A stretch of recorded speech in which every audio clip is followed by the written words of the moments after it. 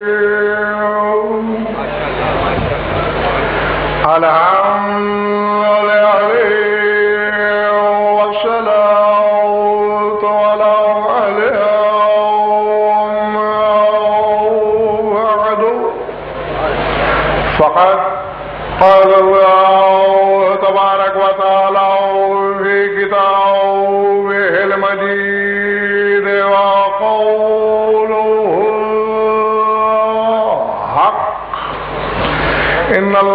اشترى من المؤمنين أنفسهم وأموالهم بأن لهم الجنة صلاة الله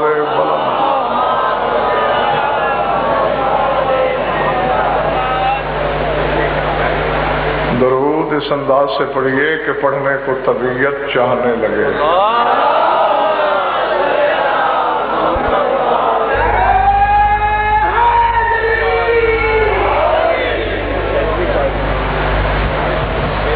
بات شروع کی جائے۔ سورہ بکرا کی ایک شعرۂ آفاق آیا، تلاوت کی ہے میں نے۔ زبان زد خلائق ہے، یہ آیت عالم اسلام کا بچہ بچہ شناسا ہے۔ اس آیت میں اللہ نے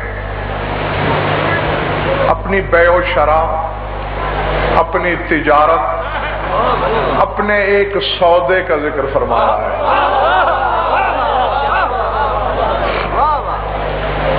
اللہ نے کوئی چیز خریدی ہے؟ قیمت دے کر کیا خریدا؟ یہ دائیں بائیں حضرائے کرم دیکھنا چھوڑ دیں۔ پہلے ہی میرے پاس وقت گنا چنا ہے اور وہ آپ کی توجہ کی نظر نہ ہو جائے۔ ان اللہ اشترا من المومنین فرمائی، یقیناً اللہ نے خرید لیا مومنین سے.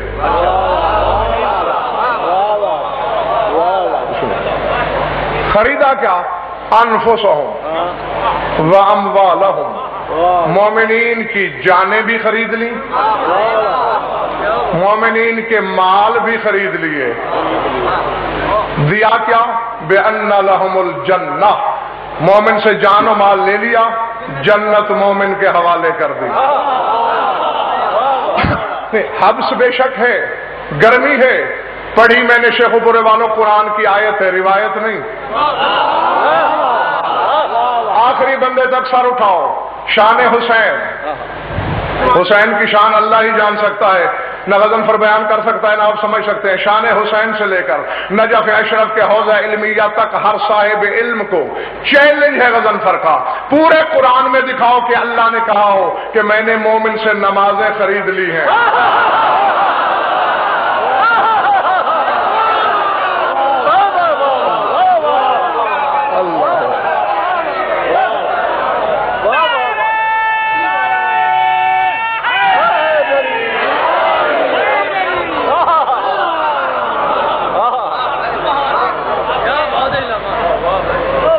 دیکھو، یہ جو چیز اللہ نے تم سے خریدی ہے نا، تمہیں کوئی سرخاب کا پر نہیں لگا ہوا۔ کسی نعرے والے کے نام کے سبب خریدی ہے، جس کا نعرہ صحیح نہیں لگا رہے ہو۔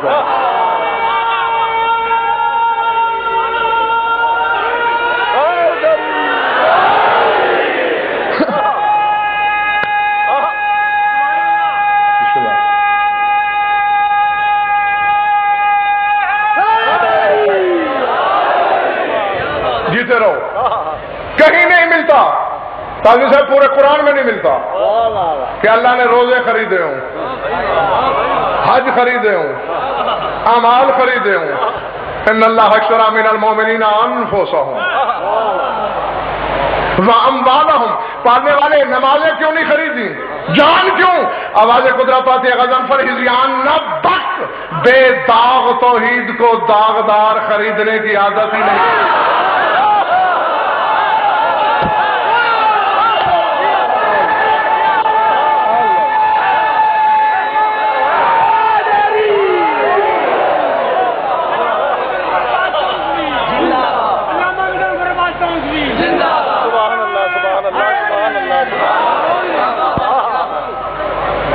آل محمد زندہ باد مذہب آل محمد زندہ باد سادات مومنین زندہ باد۔ آخری بندے اکبر کے جہاں تک سبھی کر کے آواز جا رہی ہے۔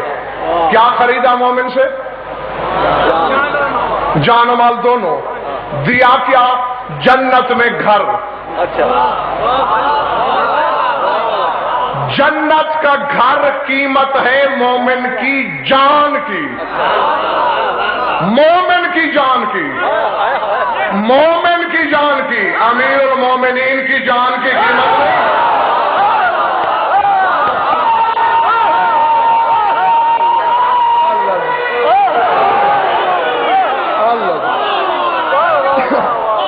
ہاں یقیناً میرے سامنے سب حلالی ہے سب موالی ہے تو موالیوں کے لیے غزل فر ایک جملہ کہنا چاہتا ہے۔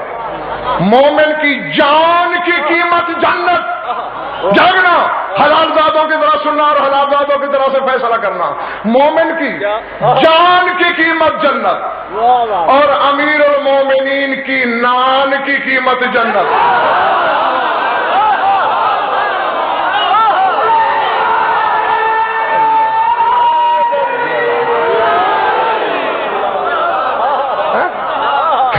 کچھ سمجھ میں آیا بات میں پھر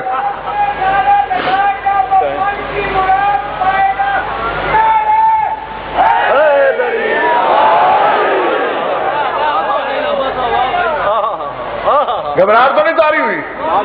نہیں جو نہیں سمجھے میں یہ کہنا چاہتا تھا کہ مومن کی جان کی قیمت جنت اور خیبر شکن کے گھر کے جو کی روٹیوں کی قیمت جنت۔ اور مومن میں شاہ عالمی ملازم ہے کون کون؟ انبیاء بنی اسرائیل کا ذکر کرتے فرمایا انہوں من عباد المومنین۔ فرمایا یہ نبی ہمارے مومن بندے ہیں۔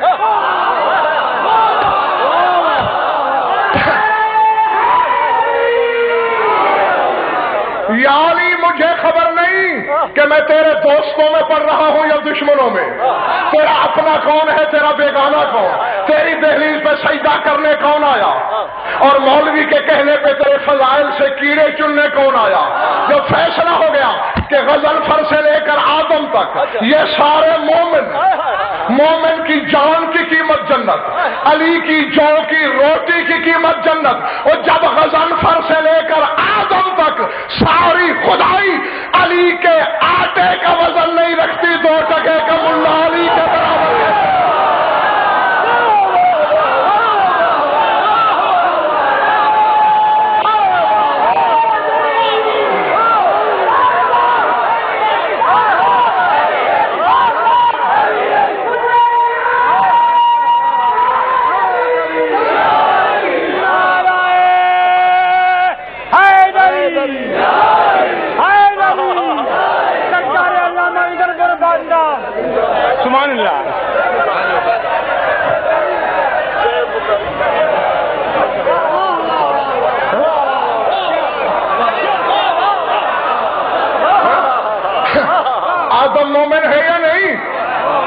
ابراہیم موسا عیسیٰ مومن ہے یا نہیں؟ ایک طرف علی کے گھر کی روٹی رکھو دوسری طرف ایک کم ایک لاکھ چوبیس ہزار نبی تو لو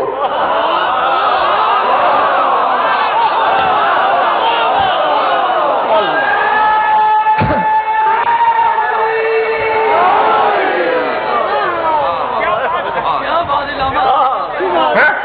اور کوئی بات ہو نہ ہو مجھے یہ خوشی ضرور ہے کہ میرے سامنے سب حلالی ہیں۔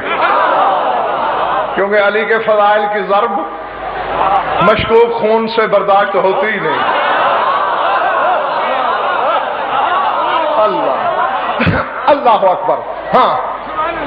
اب افسوس ہے مجھے بڑی ملازم جلدی کرنا پڑ رہی ہے تاکہ میں اپنے وقت میں زیادہ سے زیادہ باتیں اپنے سامعین سے کر سکوں مومن کی جان و مال کی قیمت جنت مومن کے لیے جنت میں گھر اور علی کی جو کی روٹیوں کے بدلے جنت میں گھر نہیں پوری جنت جان علی نے بھی بیچی تھی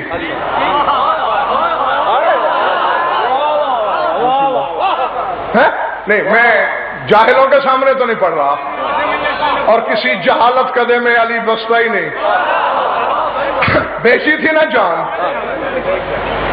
نہ مومن نے قیمت مانگی اللہ سے خود دی۔ اچھا۔ نہ امیر المومنین نے مانگی خود دی۔ ہاں۔ تو علی کی جان کی قیمت کیا پڑی؟ یہ بھی قرآن سے پوچھ لیتے ہیں۔ وہی سورہ بکرا ومن الناس سے میں یشری نفس مرضات اللہ۔ واللہ رؤوف بالعباد.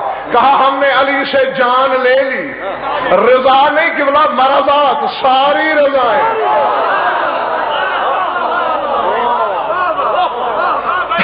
ساری رضائیں چلے گئے ہو؟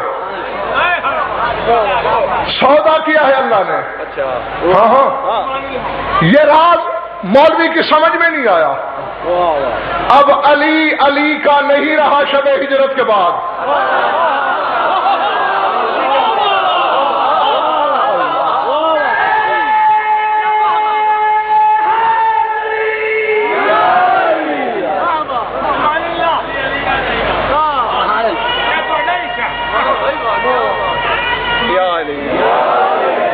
بھائی، سامنے کی بات ہے نا؟ آپ نے ایک مکان بیچا، ایک لاکھ روپے میں مثال دے رہا ہوں۔ مکان میرا تھا، آپ نے لاکھ مجھے دے دیا۔ میں آپ کے سامنے اس لاکھ کو آگ لگا دوں۔ آپ ٹھیکیدار ہیں؟ کوئی سوالی آئے نیاز حسین کا سوال کرے، میں اسے پکڑا دوں۔ آپ مکان کی اینٹ سے اینٹ بجا دیں، گرا دیں، خود رہیں، ہوٹل بنائیں۔ کسی کو عطا کر دیں، سودے کے یہی تقاضے ہوتے ہیں نا۔ تو میں یہی آپ کو سمجھانے کی کوشش کر رہا ہوں کہ ہجرت کے بعد علی علی کا نہیں رہا، جلی کا ہو گیا۔ اب علی کا اپنی ذات پہ کوئی اختیار نہیں۔ میں مانتا ہوں، اپنے لیے علی بے اختیار ہے۔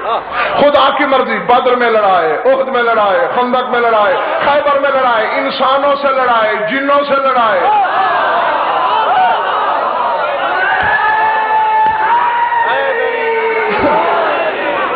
نہیں نہیں آخری بندے جو دروازے میں بھی بیٹھے ہو اور جو دیواروں کے ساتھ کھڑے ہو علی انکار کر سکتا ہے؟ کیوں؟ جان بک گئی ہے۔ چاہے تلوار ہاتھ میں ہو لڑے گا نہ ہو لڑے گا انسانوں سے لڑے گا جنات سے لڑے گا۔ اچھا۔ دیکھو میری طرف اسی طرح رضائیں کس کی ہو گئی؟ علی. کی نا؟ تو پھر علی کی مرضی مشرق کو مغرب کرے مغرب کو مشرق کرے شمال کو جنوب کرے جنوب کو شمال کرے مرد کو عورت کرے عورت کو مرد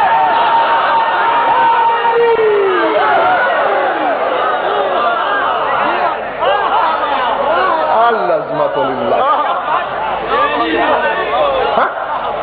گھبراہٹ تو نہیں ہو رہی نا؟ اب اس مرد کو عورت بنائے۔ عورت کو مرد کرے۔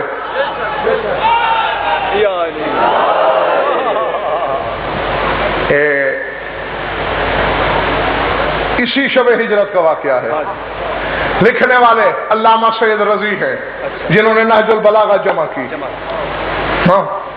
پوچھا گیا تھا علی سے یا علی تو مشکل کچھ آئے عالم ہے۔ تم پر بھی کبھی مشکل آئی فرمایا ہاں ہاں؟ فرمایا ہاں۔ آئی۔ اب ایک تو آپ لوگ بیٹھے پیچھے۔ ہیں ہاں۔ آئی کب؟ اچھا۔ اور کیسے ٹلی؟ فرمایا شب ہجرت۔ اچھا۔ بڑی مشکل رات تھی۔ یا علی موت سے ڈر گئے تھے۔ میں جاہل جو علی موت کو مارنے کے ڈھنگ سکھائے۔